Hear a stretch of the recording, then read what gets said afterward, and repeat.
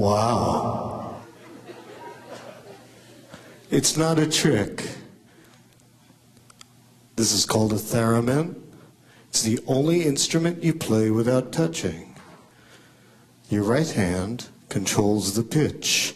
As you get closer to this rod, pitch goes up. Left hand controls the volume. Here, as you lift away, it gets louder. So I know what you're thinking. You're thinking, well, that's all very nice. Can you play music on it? I don't know. Let's see.